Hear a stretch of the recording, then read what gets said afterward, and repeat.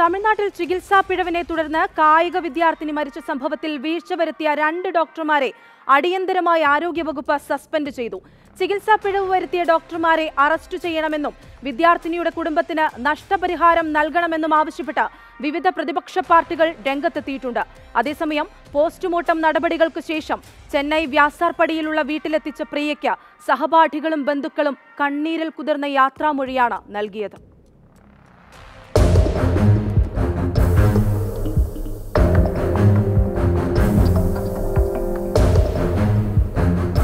മാസം ആദ്യം കാലിനേറ്റ ചെറിയ പരിക്കിനെ തുടർന്ന് പ്രിയയെ ചെന്നൈ പെരിയാർ നഗർ സർക്കാർ ആശുപത്രിയിൽ പ്രവേശിപ്പിച്ചിരുന്നു. തുടർന്ന് നവംബർ ഏഴിന് കാൽമുട്ടിൽ ലിഗ്മെന്റിൽ ഓപ്പറേഷൻ നടത്തുകയും ചെയ്തു. ഈ ഓപ്പറേഷനിലെ പിഴവിനെ തുടർന്നാണ് പ്രിയയുടെ കാലിന്റെ സ്വാധീനം നഷ്ടമാകുകയും അണുബാധ ഉണ്ടാകുകയും ചെയ്തത്. അണുബാധ മറ്റിടങ്ങളിലേക്ക് വ്യാപിക്കുകയും ഇതിനെ തുടർന്ന് കഴിഞ്ഞ തിങ്കളാഴ്ച രാജീവ് ഗാന്ധി ജനറൽ ഹോസ്പിറ്റലിൽ വെച്ച് പ്രിയയുടെ വലതുകാലെ മുറിച്ചു മാറ്റുകയും ചെയ്തു. ദേശീയതലത്തിലും സംസ്ഥാന തലത്തിലും നിരവധി ഫുട്ബോൾ ടൂർണമെന്റുകളിൽ കളിച്ച പ്രിയയുടെ ദുരനുഭവം വാർത്തയായതിനെ തുടർന്ന് സംഭവത്തിൽ ആരോഗ്യവകുപ്പ് അന്വേഷണം പ്രഖ്യാപിച്ചിരുന്നു. എന്നാൽ ഇന്ന് പുലർച്ചെയോടെ പ്രിയയുടെ ആരോഗ്യനില വഷളാകുകയും മരണം സംഭവിക്കുകയുമായിരുന്നു.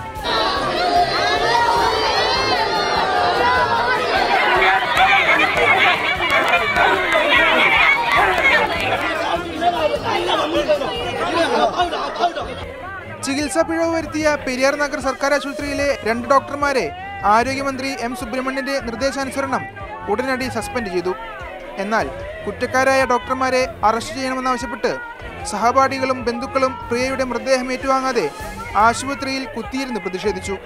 ഇതോടെ സ്ഥലത്ത് ചെറിയ രീതിയിൽ സംഘർഷാവസ്ഥയുണ്ടായി. സംഭവത്തിൽ കുറ്റക്കാർക്കെതിരെ നടപടിയെടുക്കുമെന്ന് സർക്കാർ ഉറപ്പു നൽകിയതോടെയാണ് ഇവർ പ്രതിഷേധം അവസാനിപ്പിച്ചത്. അതേസമയം വ്യാസാർപടിയിലെ വീട്ടിലെത്തിച്ച പ്രിയയ്ക്ക് സഹപാഠികളും അധ്യാപകരും ബന്ധുക്കളും കണ്ണീരിൽ കുതിർന്ന യാത്രാമൊഴിയാണ് നൽകിയത്.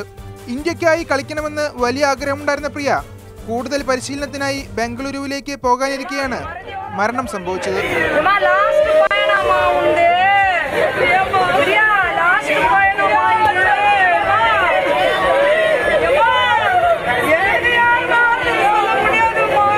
ഒരു കോടി രൂപ നഷ്ടപരിഹാരം നൽകണമെന്നാവശ്യപ്പെട്ട് പ്രതിപക്ഷ കക്ഷിയായ അണ്ണാ ഡി എം കെ രംഗത്തെത്തി കുറ്റക്കാർക്കെതിരെ സർക്കാർ ശക്തമായ നടപടി സ്വീകരിക്കണമെന്നാണ് ബി ജെ പി ഉൾപ്പെടെയുള്ള പ്രതിപക്ഷ കക്ഷികളുടെ ആവശ്യം நம்முடைய மாண்புமிகு அண்ணன் இடைக்கால பொதுச்செயலாளர் அவர்கள் அந்த குடும்பத்திற்கு இரங்கலையும் இதற்கு விடியாத அரசு பொறுப்பேற்க வேண்டும் என்ற அந்த கருத்தையும் தெரிவித்து ஒரு கோடி ரூபாய் இந்த குடும்பத்திற்கு நிதியுதவி வழங்க வேண்டும் என்ற அந்த கருத்தையும் சொல்லியிருக்கின்றார்கள் ചികിത്സാ പിഴവ് മൂലം ഫുട്ബോൾ ലോകത്തിൽ ലഭിച്ചേക്കാവുന്ന ഒരു മികച്ച താരത്തെയാണ് നഷ്ടമായിരിക്കുന്നത് പ്രതിപക്ഷ കക്ഷികളുടെ പ്രതിഷേധമുയർന്നതോടെ കുറ്റക്കാരായ ഡോക്ടർമാർക്കെതിരെ ശക്തമായ നടപടിക്കൊരുങ്ങുകയാണ് സർക്കാർ ക്യാമറമാൻ നല്ല മുരുകനൊപ്പം വിനയ് ഉണ്ണി മാതൃഭൂമി ന്യൂസ് ചെന്നൈ